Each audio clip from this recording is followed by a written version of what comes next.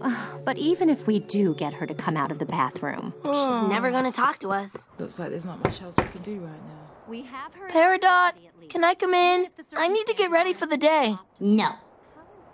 I have something for you. If it has anything to do with the experiment she was conducting in the kingdom,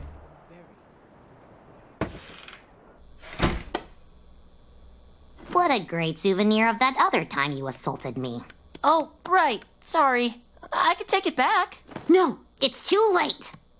You wouldn't happen to have the rest?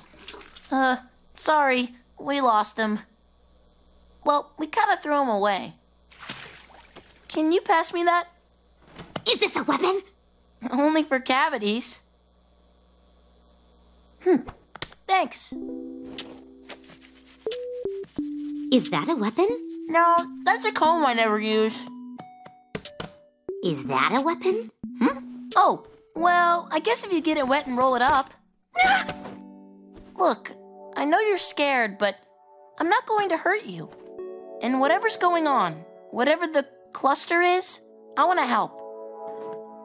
I doubt you can help me, but I appreciate the offer. Now, do you mind moving? I have to use that. For what?